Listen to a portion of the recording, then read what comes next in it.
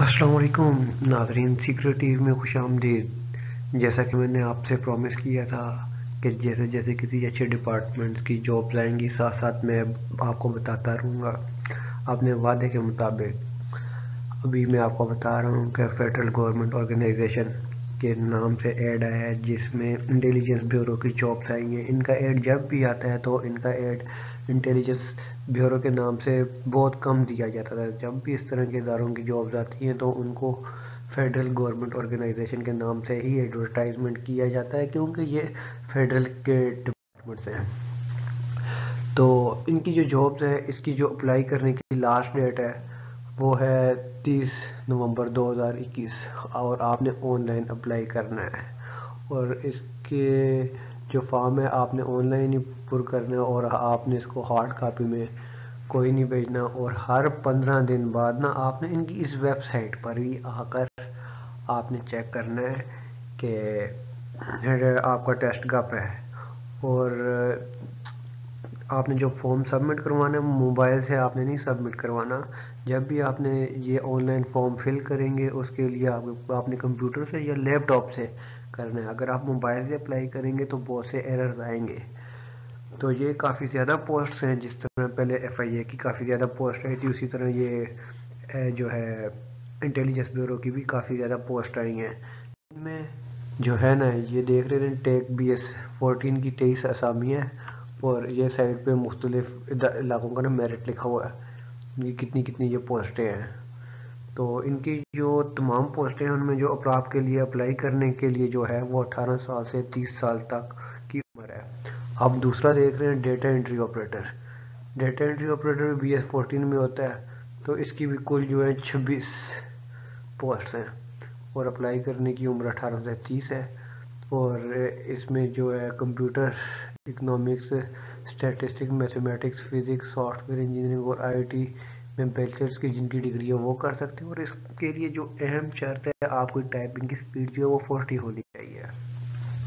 जो तीसरी जॉब आपके सामने स्टेनोटाइपिस्ट की, इसकी बैतालीस असामियाँ आई हैं। इसके लिए भी इंटरमीडिएट मांगा गया है। आपकी जो शॉर्ट हैंड की स्पीड है, अस्सी होनी चाहिए टाइपिंग स्पीड फोर्टी होनी चाहिए।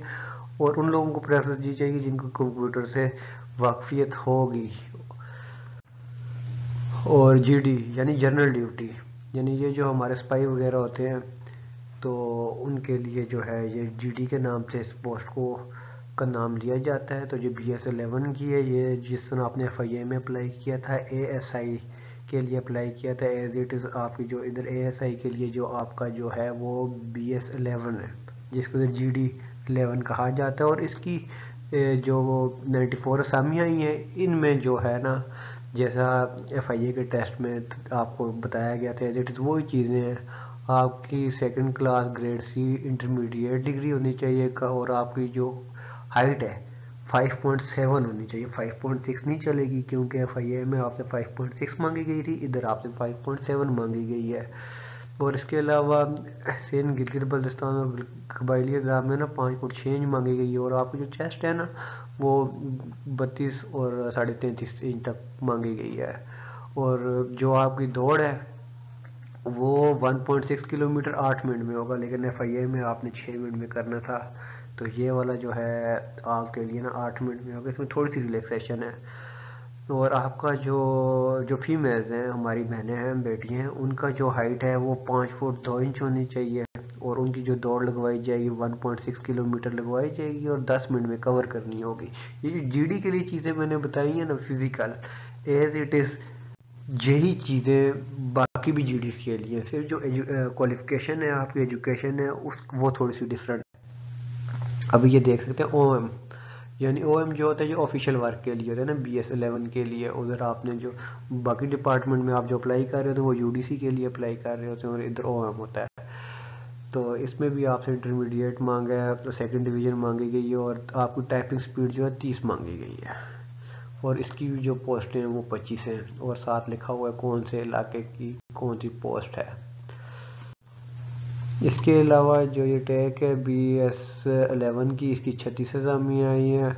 तो किसी भी गवर्नमेंट इंस्टीट्यूट से से आपने electronics electrical radio telecom IT वगैरह जो लिखी हुई इनमें आपने डिग्री की हुई हो तो उसमें कर सकते हैं।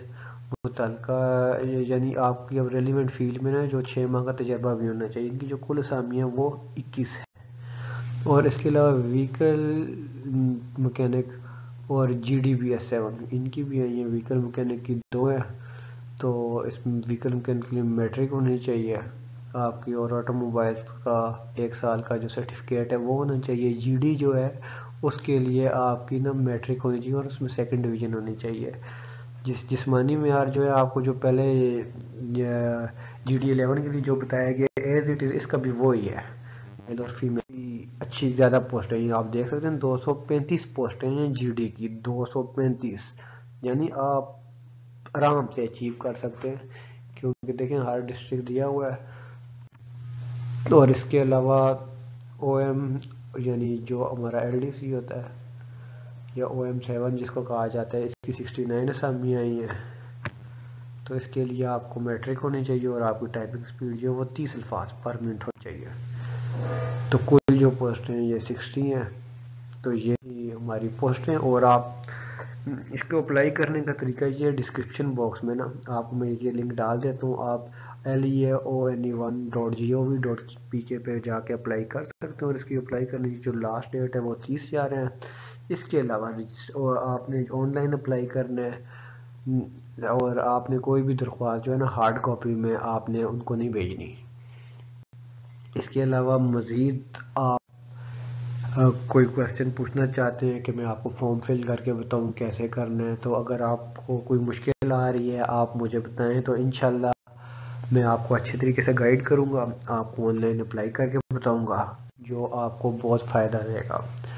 इसके अलावा, जैसे एफ़ आई ए का टेस्ट की मैंने आपको भरपूर तैयारी करवाई है इनशाला ये जो फेडरल गवर्नमेंट ऑर्गेनाइजेशन की जॉब्स आई हैं, यानी इंटेलिजेंस ब्यूरो की तो इनकी भी मैं आपको ढेर सारी ज़बरदस्ती तैयारी करवाऊँगा। तो इसमें आपको मैं बताऊँगा आपने रनिंग कैसे करनी है और इसके अलावा एम सी क्यूज़ की कैसे तैयारी करनी है। इनशाला आप कामयाब होंगे और इसके अलावा आप एजुकेशनल सेल्फ डिफेंस और फ़िज़िकल फिटनेस रिलेटेड वीडियोस देखना चाहते हैं तो हमारे चैनल को सब्सक्राइब करें ताकि इस तरह की आने वाली वीडियोस आप तक पहुँच सके। इजाज़त दीजिए। अल्लाह हाफि